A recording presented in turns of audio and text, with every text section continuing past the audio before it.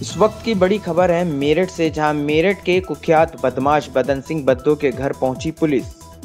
मेरठ के पंजाबीपुरा स्थित बद्दो के घर पहुंचकर पुलिस ने की कुर्की की कार्रवाई आपको बता दें 28 मार्च 2019 को गाजियाबाद कोर्ट में पेशी के बाद मेरठ के दहली रोड स्थित मुकुट महल होटल से पुलिस कस्टडी से फरार हो गया था कुकुत बदमाश बद्दो सिंह। ढाई लाख का इनामी बदमाश है बदन सिंह बद्दो। कुरियात बदमाश, बद्दों पर मर्डर, फ्रौती व शराब तस्कर के कई मुकदमे भी दर्ज हैं।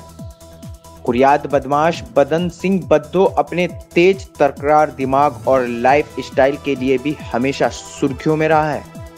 यह इस वक्त की बड़ी खबर मेरठ से है, जो हम आपको दिखला रहे हैं, जहाँ मेरठ का कुरियात बदमाश, बदन सिंह, बद्दो के घर आज पुलिस पहुँची और उसके पूरे घर पर कुर्की की कार्रवाई की।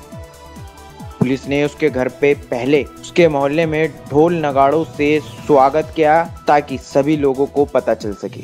उसके बाद बदन सिंह बद्दो के घर की कुर्की की गई। फरारी के बाद से ही मेरठ पुलिस और एसटीएफ की टीम की बदन सिंह बद्दो की तलाश जारी थी। यह इस वक्त की बड़ी खबर दिखा रहे हैं आपको मेरठ से। है कि आज माननीय न्यायालय के आदेशों के अनुसार बदन सिंह बद्दो पुत्र श्री चरण सिंह, के घर की संपत्ति कुर्क की जा रही है। सभी को अवगत, अगर किसी को कुछ और बताना है इस बारे में, हमें अवगत करा सकते हैं। धन्यवाद।